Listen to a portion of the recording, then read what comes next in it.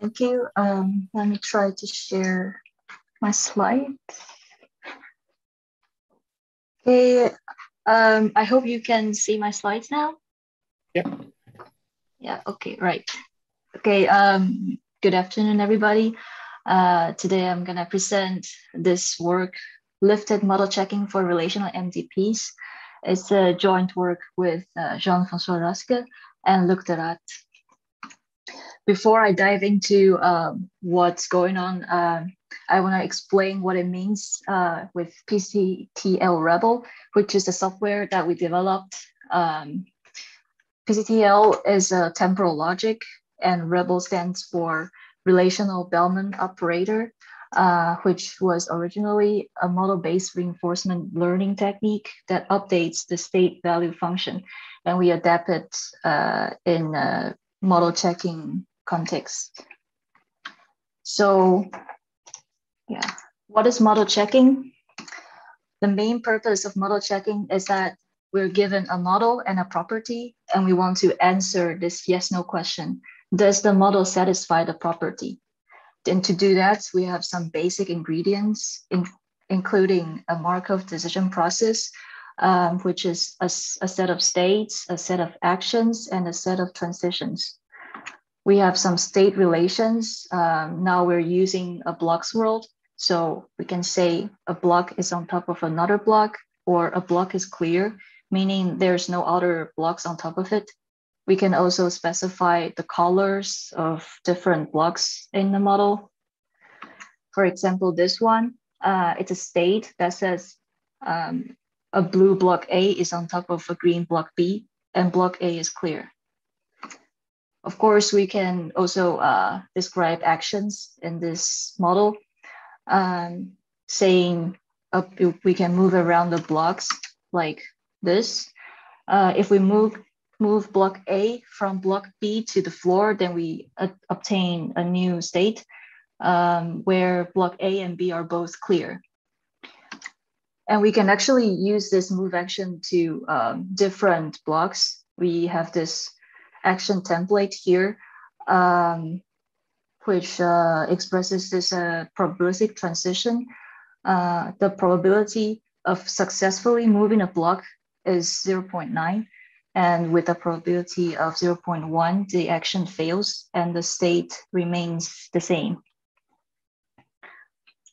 Besides the model, we also need to specify the property so uh, we have this PCTL language or operators that we can use um, that includes negation, conjunction, disjunction. We can also say a condition must hold in the future, a condition must hold in the next state, or condition one must hold until condition two is satisfied. Um, and we can also put probability bounds uh, over the property. So this is one example saying um, in the future, uh, within five actions, the probability of reaching a state, um, X is on top of Y and X is blue, Y is green, must be equal to or larger than 0.9. So how does it look in blocks world? Uh, we have this blocks world with 10 blocks with different colors of blocks. And we have this property, can the red block be on top of another red block within five actions with a probability larger than 0.8, which is uh, formally represented as this. And uh, the question is simple. We just want a yes or no. Um, but it turns out this is already too many states for any state of the art model checkers because they are not relational. They're not designed for uh, exploiting relational structures. So uh, it's very obvious that we are encountering a state explosion problem, which is not uncommon in a model checking setting. And there have been many choices that we can choose from depending on the reasons of the state explosions, including symbolic model checking, which compactly represents a set of states using a decision diagram uh, because of this special data structure, we can efficiently manipulate uh, this set of states We also have some abstract MDPs, which make abstraction over action sequences. For example, a low level action sequence going right, right, up, up, right, open a door, up, can be represented by a high level action from room A to room B. And this is related to uh, hierarchical reinforcement learning like uh, we saw earlier. Um, we also have abstraction refinement techniques, which partition the state space into regions. Um, states in the same region have similar local properties. So we can use, we can just apply classic model checking techniques onto on the regions instead of on the individual states. But all these uh, methods, they, they exploit some sort of symmetries in the model, but they don't exploit the relational symmetries in the model, which means um, once we're, uh, if we're adding more and more objects uh, into the domain, into the model, um, they can still explode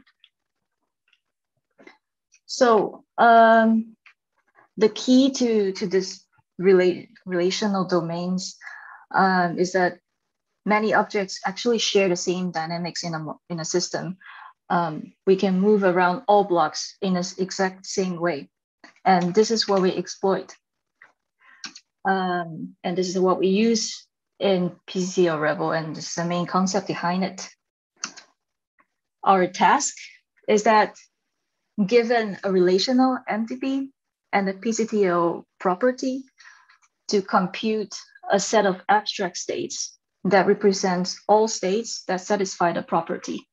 And we want to do this without having to construct the full ground model. Um, so it's so-called lifting. And there are two main core ideas behind this. The first one is we're taking abstractions with respect to the property. So we're not interested in object identities. We're not interested in the full state description. What we focus on is the state features that are relevant to the property. Because in the end, we just want the yes, no uh, answer to, to the question. And the second core idea is lifting, which means that we use variables to represent a set of states. And because, because of this, because of the use of variables, we can avoid constructing the full ground model. And this allows us to reason about um, a very large set of states uh, as a whole. So um, how does it look in, in this blocks world? We have the same model here and the property here. The relevant feature, the only one of them is whether the block is red or not when we're considering this property, which means we don't really need to know the colors of all other objects that are not red. So we can just be um, ignore their colors like this. Then it's very similar to planning that we have a so-called goal state and we can um, reason backwards uh, for the preconditions until we reach the initial state. And here we use this rebel prime operator uh, to reason backwards. And at this point, it's uh, very important to re-mention uh, what rebel is. It's a relational Bellman operator. It's a re reinforcement learning technique that updates state values in relational domains. So it's, it's also lifted. Uh, we have to uh, adapted in a model checking context. So we in, reinterpret we rebel to update instead of state values, state probabilities now. We also need to uh, make some other changes to rebel so that we can actually compute um, other operators in our language. So yeah, we can uh, perform logical regression using rebel prime to reason backwards until we reach the initial state. Then we can answer um, whether the state uh, satisfies the property or not. So is this just planning? Uh, well, it is more than that because planning is a special case of model checking. It is commonly called a reachability property, And PCTL Rebel supports a full PCTL language. Uh, it allows different PCTL operators, uh, the until operator, the next operator, also conjunction negation. It also allows for nested formulae, such as this one. And um, it allows for infinite models, which means we can have a property that has an infinite horizon, and we can check this property against an infinite lar infinitely large model. So um, I'll talk a little bit more about uh, how, how we obtain decidability uh, in infinite domains. It is um, clear that if we are working on the at the ground level with a ground MDP and we have infinitely many objects in the domain, the state space uh, would be infinitely large and each state would also be infinitely large. Um, so it's uh, in general undecidable.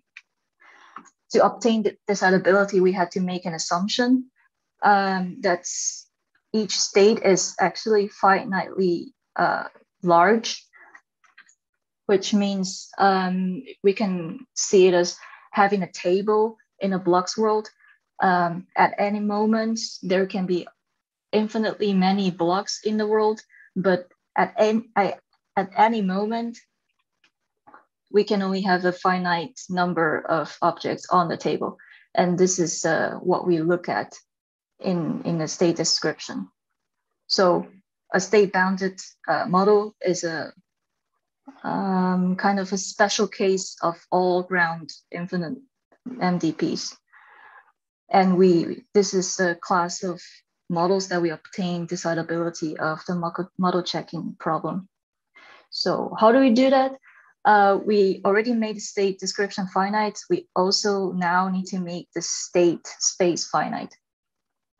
And we do that by lifting again we construct a finite abstraction, which we call an abstract uh, MDP, um, which uses variables to represent states. So we have abstract states now, and um, to we can use finitely many abstract states to represent uh, infinitely uh, large state space. So it is clear that uh, this model is decidable because it's finite. But at the same time, it can still have infinitely many uh, objects in a domain. So, and then uh, we showed in the paper that uh, these two models form a pairwise bisimulation, which means um, the abstraction, abstract RMDP, is a sound abstraction with respect to a given property. And this is this abstract RMDP can be naturally um, handled by our software. And there are more details in the paper. So finally, evaluation. Uh, we compare PCTL Rebel with state-of-the-art model checkers and other uh, model checking techniques. Um, on the x-axis, we enlarge the number of objects uh, in a domain. And on the on the y-axis, uh, we observe the runtime would increase while uh, the number of objects increase, increases. And we use the blocks world uh, under the timeout of 30 minutes, and we use a simple reachability property, which says block A will be on top of block B within 10 actions uh, with a probability larger than or equal to 0.5. On this graph, we can see that um, lifted model checking is more scalable than explicit state model checking, which is more scalable than symbolic model checking. And state-of-the-art model checkers can, add, can handle at most nine blocks in the world, which is uh, roughly 4.5 million states and PCTL Rebel under the same timeout can handle 15 blocks, which is uh, 65 trillion states. So in the end, um, to conclude, we introduced a framework for lifted model checking in relational domains. uh, we introduced an implementation that outperforms uh, state-of-the-art model checkers in relational domains. And we also proved that um, it is uh, that this side, the model checking problem is decidable for um, a special case of um, infinite MDPs. Uh, for the future, uh, we think this PCTL Rebel is a pretty interesting framework for uh, model checking, but since it adapts uh, Rebel, the original uh, reinforcement learning technique, we think it, it would also be very interesting to use it in a safe reinforcement learning setting where we consider uh, rewards in the model and we can kind of specify a safety requirement using um, the PCTL language, then we can do something about it. And that concludes my talk. Thanks for your attention.